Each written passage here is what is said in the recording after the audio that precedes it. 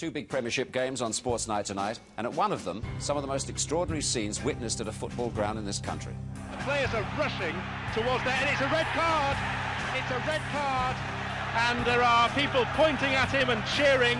And not for the first time in English football, the ugly side of Eric Cantona's game has come to the fore. Eric, oh my. Oh, and Cantona has got involved with a fan in the front row. And Cantona leapt with both feet into the front row. Frankly, I've never seen anything like it.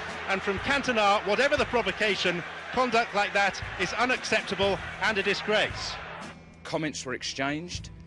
Uh, but he did no more than jump two-footed over the barrier and kick the person straight in the stomach. The chappie got up to retaliate, and Cantona did no more than punched him as well. Uh, in all the years I've been a supporter, I've never ever seen or experienced anything quite like that at a football match before. Well, Gary Lineker is with us. First reaction to that, Gary? Well, it's the most one of the most amazing things I've ever seen in a football match. I think that it doesn't matter what how you're provoked by the crowd, whatever language they use to you, you've got to be above it. Good evening.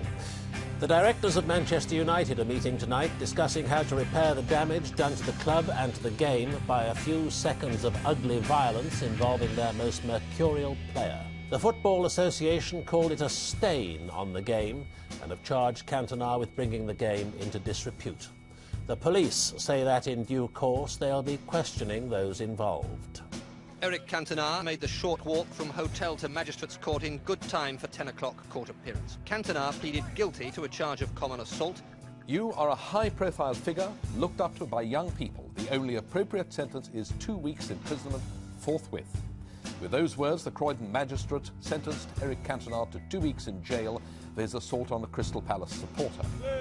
Eight days after being sentenced to two weeks imprisonment by Croydon magistrates after pleading guilty to common assault, Eric Cantona took his appeal against the sentence to the Crown Court. Defending, David Paul QC described the magistrate's decision as flawed, contrary to the express will of Parliament.